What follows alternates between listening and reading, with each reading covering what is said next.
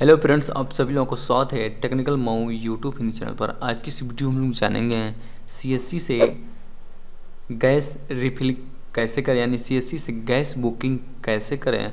2023-24 में यदि आप हमारे इस चैनल पर पहली बार विज़िट किए हैं तो इस चैनल को सब्सक्राइब कर लीजिए ताकि सभी वीडियो का अपलोडिंग इन्फॉर्मेशन सबसे पहले आपको मिलता रहा है। तो चलिए चलते हैं अपने मेन टॉपिक की ओर कि सीएससी से गैस बुकिंग कैसे करें।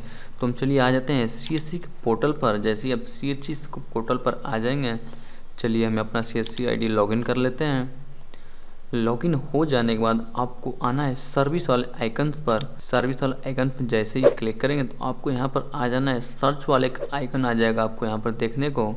तो सीएससी से गैस बुकिंग करना बहुत ही ईजी है। यदि आप अभी तक सी से गैस बुकिंग नहीं करते हैं तो इस वीडियो को देखने के बाद सीएससी से आप गैस बुकिंग करने लगेंगे। तो सर्च वाले आइकन पाने के बाद आपको गैस लिखना है। उसके बाद यहाँ पर मिल जाएगा एलपीजी गैस रिफिल बुकिंग। इस पर क्लिक हीयर पर क्लिक करना है। उसके बाद यहाँ पर आ जाना है डिजिटल सेवा कनेक्ट। उसके बाद आपका डिटेल यहाँ पर कुछ शो होगा। यहाँ पर प्रोसीड पर क्लिक कर दीजिए।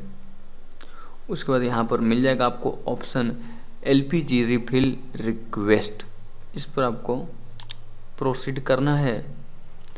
और यहाँ पर सेलेक्ट कर लीजिए Indian oil Bharat gas H P तो हमारे केस में एच पी का है? तो हम एच पी पर सेलेक्ट करेंगे। उसके बाद आपको अपना डिस्ट्रिक्ट सेलेक्ट करना है।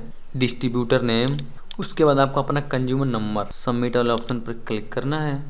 नेम वगैरह पूरा डिटेल यहाँ पर ऑटोमेटिक आ जाएगा। उसके बाद मेक पेमेंट पर क्लिक करना है। दो रुपये का आपका ट्रांजेक्शन होगा। सीएससी से यदि आप गैस बुकिंग करते हैं तो। यहाँ पर अपना पासवर्ड फिलअप कर दीजिए।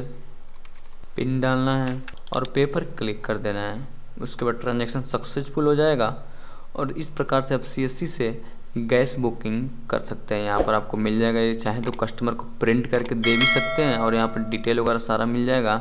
Your refill request has been successfully booked तो इस प्रकार से आप सीएससी से गैस बुकिंग कर सकते हैं। मात्र दो रुपये आपके वॉलेट से डेबिट होगा। तो चलिए इस वीडियो में इतना ही। मिलते हैं अगले वीडियो में और किसी ऐसे टॉपिक के साथ में।